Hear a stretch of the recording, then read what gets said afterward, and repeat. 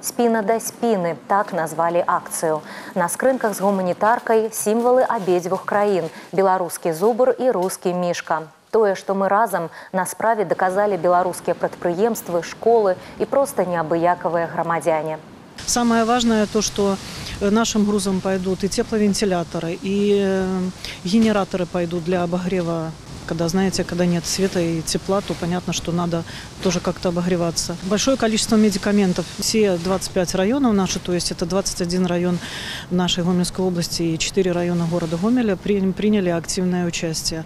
Активное участие приняли, конечно, наши крупнейшие флагманы нашего, нашей организации. Это химзавод, и Гомельстекло, и стройматериалы, Злин, э, та же Беларусь нефть. Гуманітарны груз максімальна адпавядае ўсім чалавечым патрэбнасцям людзей, якія знаходзяцца ў крытычнай сітуацыі. У скрынках цёплыя рэчы, абутак, пасцельныя прыналежнасці, харчовыя прадукты, генератары. Раней аналагічная адпраўка дапамогі ажыццяўлялася і жыхарам Данбаса.